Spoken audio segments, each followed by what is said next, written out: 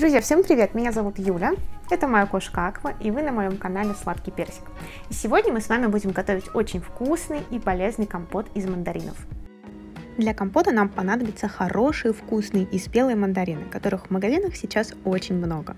Их нужно тщательно помыть, желательно со специальным средством или хотя бы с содой, и очистить от кожуры. Только кожуру не выбрасывайте, она нам может пригодиться для других вкусных рецептов. Они есть у меня на канале. Ну, например, из кожуры мандаринов можно приготовить вкусные сладкие конфетки цукаты или специальную приправу для сладких блюд.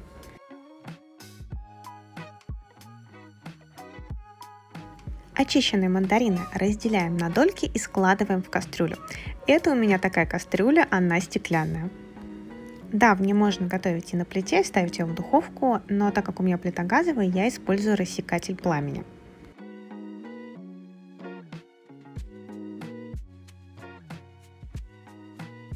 Теперь в кастрюлю с мандаринами добавляем ваши любимые пряности. Я взяла одну звездочку бадьяна или две, уже не помню, но здесь лучше делать по вкусу.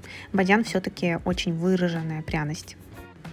Затем добавляем несколько палочек гвоздики, чайную ложку корицы и немного кардамона. Количество пряностей вы можете регулировать по своему вкусу. И можно также добавлять какие-то другие, которых у меня нет. Ну, например, положить имбирь или мускатный орех. Теперь заливаем все это дело водой. Вода должна быть или фильтрованная, или бутилированная, но не из-под крана. Добавляем корки от одного мандарина. Корки придадут насыщенный вкус, такой необычный нашему компоту. Насыпаем немного сахара по вкусу и все это хорошенько перемешиваем.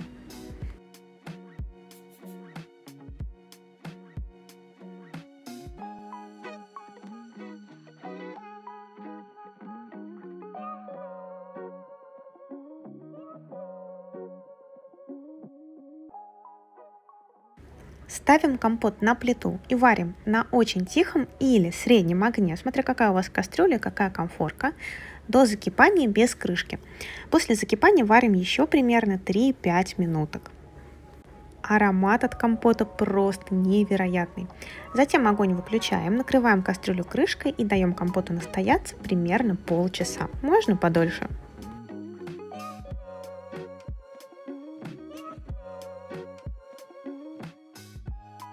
Переливаем горячий компот в графин или в чашки, используя сито.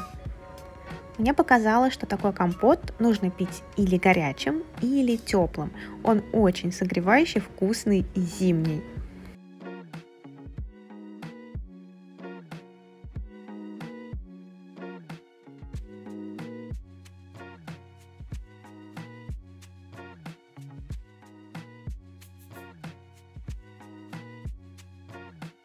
Компот получается очень согревающий, пряный и чем-то напоминает глинтвейн, только безалкогольный.